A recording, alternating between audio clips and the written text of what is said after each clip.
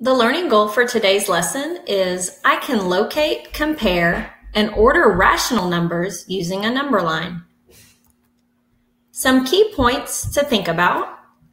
Rational numbers include whole numbers, integers, as well as positive and negative fractions, decimals, and percents. When you're ordering rational numbers, use an open number line.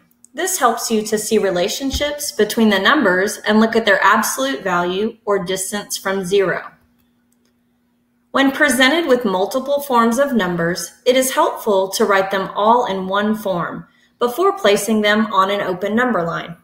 Writing all values in decimal form is a good strategy. Once they are on the number line, they are ordered least to greatest. Let's do an example. Order the rational numbers from least to greatest. This one is a little tricky because now we have negative and positive numbers, and these involve fractions and decimals. I would recommend converting all to decimal form to make comparing easier. Then we will use our open number line and place them where they should be in relation to each other in zero. Let's start with our negatives.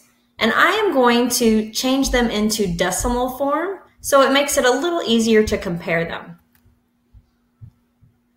Negative 3 and 1 fourth is equivalent to negative 3 and 25 hundredths. Negative 3 and 6 tenths we have already in decimal form. I added a zero because I like to make mine look look like money. It's just a little little easier to understand those decimal values when you think about money. Negative 2 fifths, I know, is equivalent to negative 4 tenths. We can convert that by dividing. You could divide your numerator by your denominator, or you could compare it to a fraction with a denominator of 10 to convert that fraction. Of those three, I can see that negative 2 fifths is closest to zero. It hasn't even reached negative 1 yet. So that one is going to be closest to zero. I can place that on my open number line. As I move away from zero, I would get to negative 3 and 1 fourth next.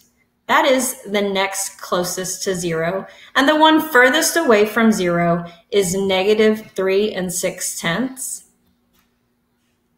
And once we have them on our open number line in relationship to zero, we have our negatives in order least to greatest going left to right. Let's look at our positives. We have four, which is just four. And 27 6, we can change that into fraction form or a mixed number, or we can change it into decimal.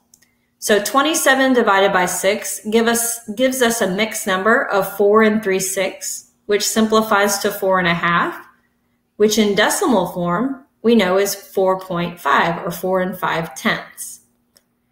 If we think about relationship to 0, 4 is 4 units from 0, and 4 and a half is a little further out.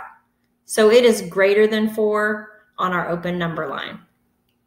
So our order from least to greatest would be negative 3 and 6 tenths, negative 3 and 1 fourth, negative 2 fifths, 4, and then 27 sixths.